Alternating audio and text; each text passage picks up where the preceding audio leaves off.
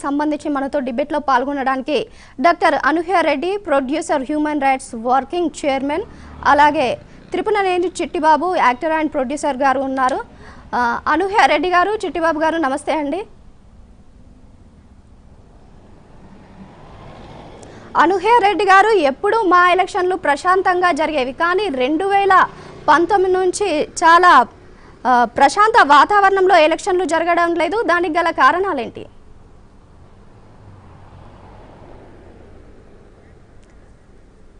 అనూహ్య రెడ్డి గారు మీరు మ్యూట్లో ఉన్నారు మ్యూట్ తీసేయండి. Hi Madhavi. Then hello sir. Hi అండి hi.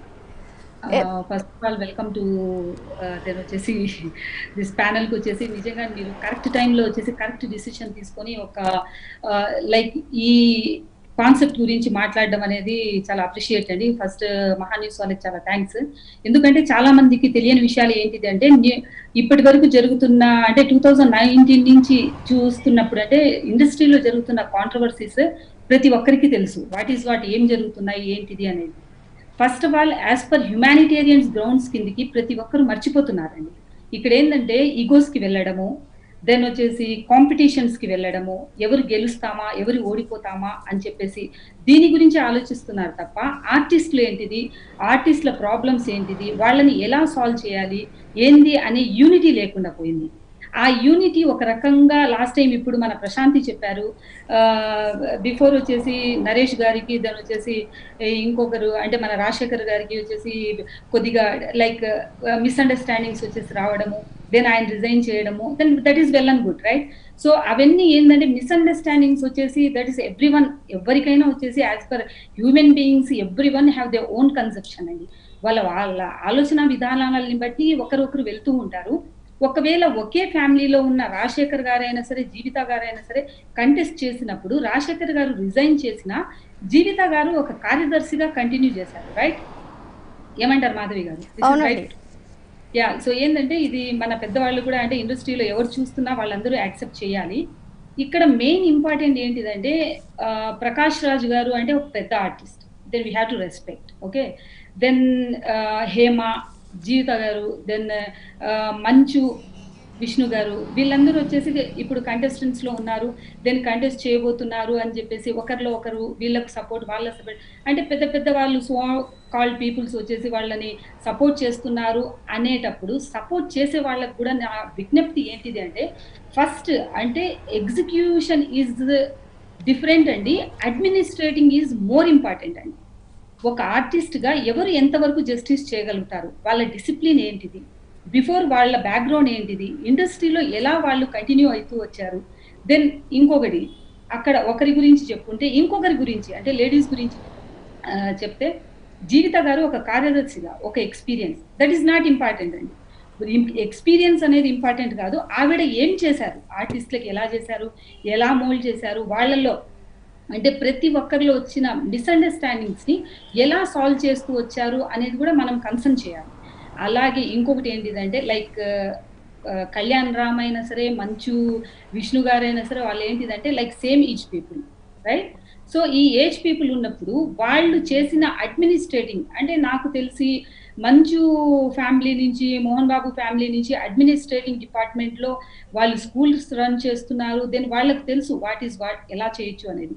అలాగే జీవిత గారు కూడా వచ్చేసి ఆల్రెడీ బిఫోర్ ఎక్స్పీరియన్స్తో ఉన్నవారు తెలుసు.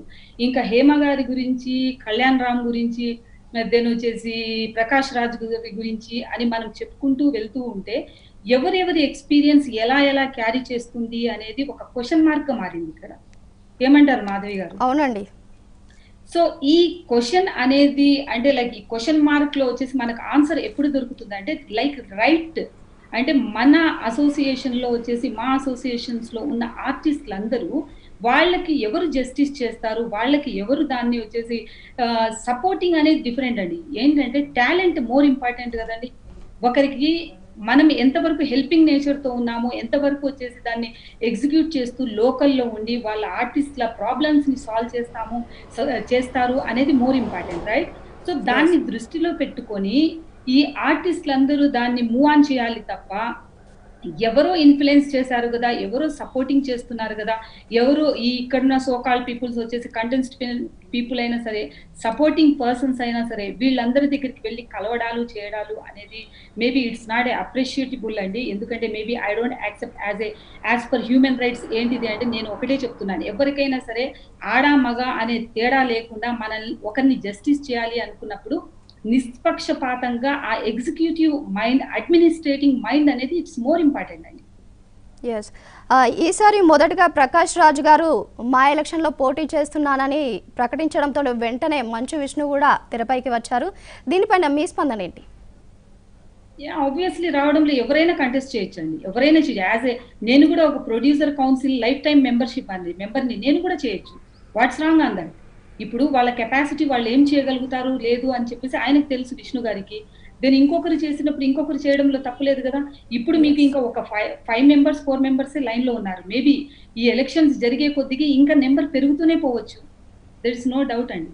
ఎవరు కూడా ఆశ్చర్యపోవాలి. ఇప్పుడు మనం ఏంటిదంటే ఇప్పుడు ఏం జరుగుతుంది. ఇండస్ట్రీలో ఇప్పటి వరకు మనం కరోనా గురించి ఆలోచిస్తూ కూర్చున్నాము.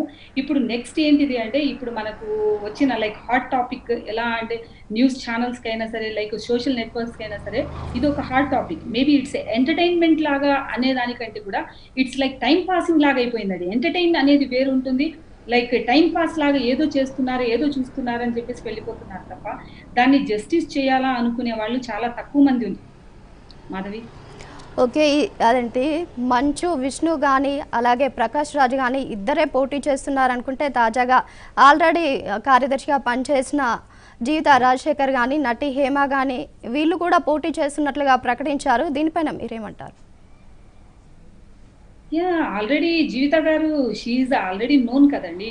ఎలా ఆవిడ ఎలా హ్యాండిల్ చేశారు? టూ థౌజండ్ నైన్టీన్లో ఎలా వచ్చేసి హ్యాండిల్ చేసి ఎలా మేనేజ్ చేశారు అనేది she's in to politics before మీకు తెలిసిందే. She's into organizing administrating then she's a producer then she's a artist everything ఆల్రౌండర్గా ఉన్నారు. యాజ్ ఏ లేడీ తను టోటలీ ఎవ్రీథింగ్ షీ నోస్ కదా. ఒక ఎక్స్పీరియన్స్ పర్సన్ అని చెప్పేసి ఉండాలి. అక్కడ వచ్చేసి అంటే నాకు తెలిసినంత వరకు ఆవిడ కంటెస్ట్ చేయడంలో తప్పులేదు విష్ణు గారు చేయడంలో తప్పులేదు హేమ గారు చేయడం ఎవ్వరు ఎంతున్నా సరే నేను వెళ్ళి అక్కడ ఎగ్జిక్యూటివ్ ఇప్పుడు నేను కూడా కంటెస్ట్ చేస్తానన్న కూడా ఏముంటుందండి? ఎక్నాలెడ్జ్మెంట్ వస్తుంది.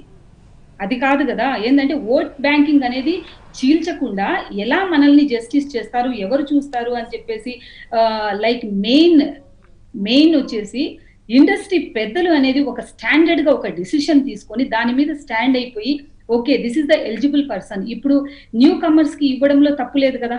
న్యూ కమర్స్కి ఇవ్వడం కానీ వీళ్ళు న్యూ కమర్స్ కూడా వాట్ ఈస్ వాట్ బిఫోర్ వాళ్ళ అడ్మినిస్ట్రేటింగ్ ఏంటిది? వాళ్ళు ఎలా మేనేజ్ చేయగలుగుతున్నారు? వాళ్ళు ఎలా జస్టిస్ చేస్తారు? వాళ్ళు ఎలా వాళ్ళ వర్క్ ఆఫ్ స్టైల్ ఎలా ఉంటుంది అనేది ఒకసారి దృష్టిలో పెట్టుకొని ఎవరినైనా సపోర్ట్ చేస్తే బాగుంటుందేమో అని చెప్పేసి నా ఆలోచన. ఓకే రైట్ అనుహ్య రెడ్డి గారు ఇప్పుడైతే ఒక స్మాల్ బ్రేక్ తీసుకుందాం. బ్రేక్ తర్వాత డిస్కషన్ కంటిన్యూ చేద్దాం. ఇప్పుడైతే స్మాల్ బ్రేక్ స్టే విత్.